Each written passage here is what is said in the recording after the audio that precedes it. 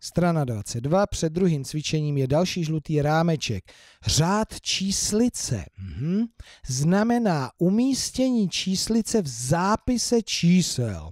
Číslice může být umístěna na místě jednotek, řád jednotek, na místě desítek, řád desítek, na místě stovek, řád stovek, na místě tisíců, řád tisíců a to půjde ještě dál. Takže největší jsou tisíce, pak stovky, desítky, nejmenší jednotky. V zápise čísel je nejnižší řád, řád jednotek.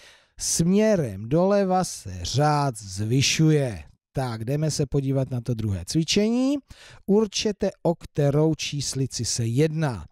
Tak, číslo 9365.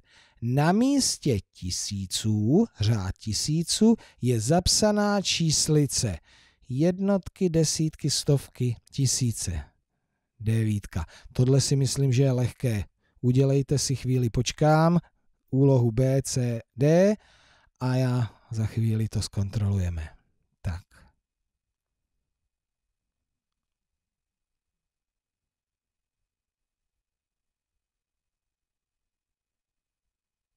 Tak už víte? Tak jedeme. Úloha B. Tisíc. Na místě stovek. Řád stovek je zapsaná číslice uh, nula. Tak, nula.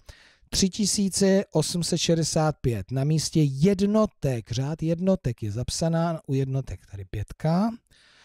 8412 na místě desítek, desítek, tady. Tak, a máme to dobře?